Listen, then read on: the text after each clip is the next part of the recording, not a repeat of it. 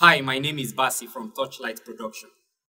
I'm here to share with you how to use Crocodile 512 DMX controller to control your light. Today, I'm going to control an LED PAR can with the Crocodile 512 intelligent controller. Starting, I have a DMX cable connected to the lamp and I address my fixture address 001. Okay, first of all, you turn on the power of the DMX controller. The next thing you need to do is to engage the run and edit buttons. These buttons help you to grant you access to the functions of this light. So the next thing you do now, you, you click on it, make sure that the, the red lead is turned on.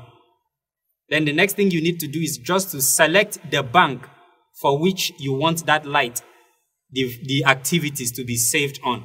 So you select the bank, nothing will happen at that point. If you check on your screen here, it will, as it, it will say here, edit chase. The moment you press that. So the next thing that you need to do is to select the fixture. Remember, it was on 001. So you select 001. Now, whatsoever you touch here on this board will respond, the light will respond to it. So what do I really need to access? Now, I, I want to access the colors in this light. So channel one here is about, is the dimmer.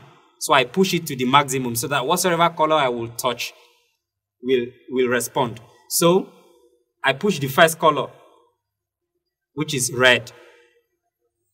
Second one, green. The third one, blue. I can even also, I can also decide to combine the two colors with, by moving two faders at different proportion and to have different other colors. There's one thing you need to know also. This is a blackout button. If this blackout, if the red lead of this blackout button is on, any, any input you give here will not come out. For example, look at that. I move this, I do that. The light is not responding. But the moment I turn off the blackout button, that light will now come on. So this helps you to cut off whatsoever activities you were using the controller to do without necessarily having to pull down these faders one by one.